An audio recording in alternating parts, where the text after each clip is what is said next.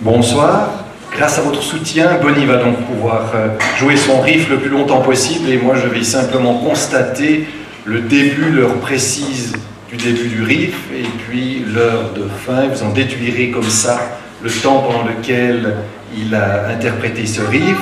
Le document original sera remis à Bonibi et la copie officielle ira rejoindre les archives du canton de Fribourg. Depuis 1439, on a tous les actes notariés. Dans 300 ans, vos arrière, arrière, arrière, arrière petits-enfants pourront aller constater que Bonibi a joué le plus long riff au monde.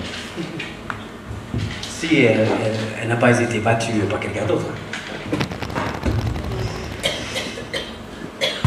Ok.